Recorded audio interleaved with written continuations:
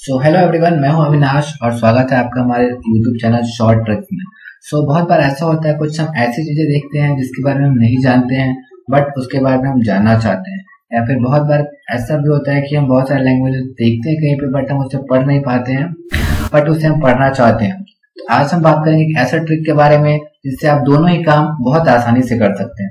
But उसके पहले आप हमारी इस यूट्यूब चैनल शॉर्ट ट्रिक्स को सब्सक्राइब कर दीजिए इस सब्सक्राइब बटन को प्रेस करके और ये बेल बटन प्रेस कर दीजिए, जिससे आप हमारे सारे वीडियोस जो फ्यूचर में आने वाले हैं, उससे देख सके और उसके बारे में अपडेटेड रह सके। चलिए शुरू करते हैं। तो सबसे पहले प्ले स्टोर ओपन करेंगे और सर्च करेंगे गूगल लेंस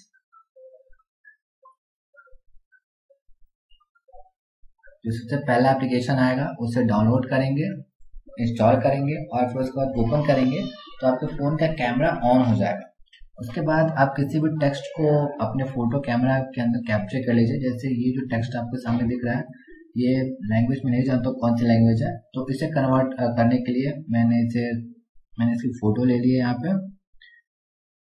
और इस, आपके सामने जो सर्च का ऑप्शन है, उस पर क्लिक कर दीजिए। और जिस, जितने भी लैंग्वेज को आप कन्वर्ट करना चाहते हैं, उसे सेलेक्ट कर लीजिए। मैं इतने को कन्वर्ट करना चाहूँ तो मैंने इसे सेलेक्ट कर लिया है। यहाँ नीचे कॉपी टेक्स्ट का ऑप्शन है तो यहाँ से इसे कॉपी कर लीजिए और फिर ओपन करेंगे Google Translate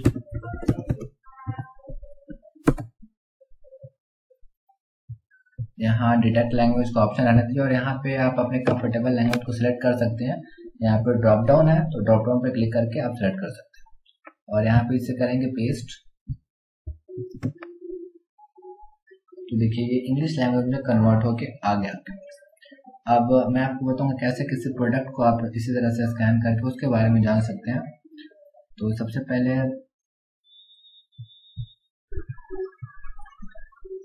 Google Lens open करेंगे और प्रोडक्ट को स्कैन करेंगे।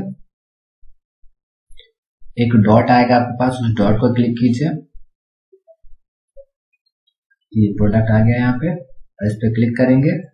तो इसके बारे में सारी इन्फॉर्मेशन जो है, वो आप, आपके पास आ जाएँगी। आप जो डिटेल्स चाहें, वो इसके बारे में ले सकते हैं। Thank you for watching the video